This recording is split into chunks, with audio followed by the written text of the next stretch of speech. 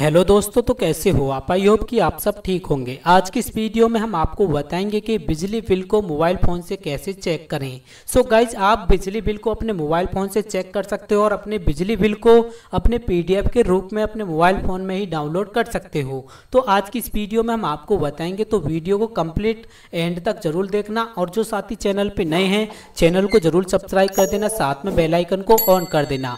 बिजली से रिलेटेड हमारे चैनल पर आपको बहुत सी वीडियो मिल जाएँगी। आप उन सभी वीडियो को देख सकते हो। या उनका लिंक मैं इस वीडियो के डिस्क्रिप्शन में दे दूँगा। आप वहाँ से जाके भी उन वीडियो को देख सकते हो। लेकिन आज की इस वीडियो में हम आपको बताएँगे कि आप अपने बिजली बिल को अपने मोबाइल फ़ोन से कैसे चेक करोगे और उसे अपने पीडीएफ के रूप में डाउनलोड भी कर सकते हो। सो गाइज़ चलिए वीडियो को स्टार्ट करते हैं। तो गाइज़ सबसे पहले आपको अपना क्रोम ब्राउज़र ओपन करना है। क्रोम ब्राउज़र ओपन करने के बाद आपको गूगल बार में सर्च करना है U P P C L bill तो जैसे आप यहाँ पर U P P C L bill type करते हो टाइप करने के बाद सर्च करते हो तो आपके सामने कुछ इस तरह का इंटरफेस आ जाता है, जैसा कि आप यहाँ देख सकते हो हमारे सामने नया इंटरफेस आ चुका है। यहाँ पर आपको Uttar Pradesh power corporation L pay bill home वाला ऑप्शन मिल जाता है, आपको इसी के ऊपर क्लिक कर देना है।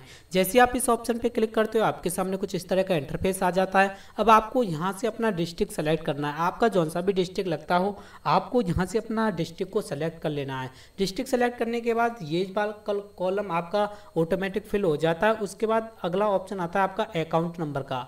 तो इस वाले कॉलम में आपको अपना अकाउंट नंबर डालना है। बिल के ऊपर आपका अकाउंट नंबर मिल जाएगा। तो आपको वहाँ से देख के अपना अकाउंट नंबर इस वाले कॉलम में डाल लेना है। इस तरीके से डालने के बाद आपके सामने जो कैप्चा कोड यहाँ पर दिया हुआ है, इन दोनों को ऐड करके आपको इस वाले कॉलम में लिख देना है। तो हम यहाँ पे टाइप कर देते हैं। टाइप करने के बाद व्यू के ऑप्शन पे क्लिक करते हैं। तो जैसे व्यू के ऑप्शन पे क्लिक करेंगे तो गाइज़ आप यहाँ पर देख सकते हो कि जो हमारा विल है यहाँ पर निकल के आ जाता है कि हमारा कितना विल है और कितना बिल हमारा यहाँ पर बकाया रह गया है। वे सारा डाटा आपको यहाँ पर देखने के लिए मिलेगा। तो आप इस तरीके से देख सकते हो, अगर आपका बिल बकाया रह गया है तो आपको यहाँ पर नीचे शो करेगा। तो इस तरीके से आप अपने बिल को यहाँ पे चेक कर सकते हो। चेक करने के बाद आपको व्यू बिल के ऑप्शन पे क्लिक करना है। व्यू बिल के ऑप्शन पे क्लिक करने के बाद आपको यहाँ पर अकाउंट नंबर आपका दिखेगा। उसके बाद आपके मोबाइल फ़ोन पर एक ओटीपी गया हुआ है। तो आपको अपना मोबाइल फ़ोन चेक करना है। मोबाइल फ़ोन चेक करने के बाद आपके सामने कुछ इस तरीके से ऑप्शन आ जाता है, अपने ओटीपी को यहाँ फिल कर देना। फिल करने के बाद सबमिट के ऑप्शन पे क्लिक कर देना है। जैसे सबमिट के ऑप्शन पे क्लिक करोगे, आपको यहाँ पर एक ऑप्शन मिल जाता है व्यू बिल का। तो आपको इस व्यू बिल वाले ऑप्शन पे क्लिक कर देना है। तो जैसे इस ऑप्शन पे क्लिक करोगे तो गाइज़ आपका जो बिल है वो कंप्लीट बिल आपका यहाँ पर निकल के आ जाएगा।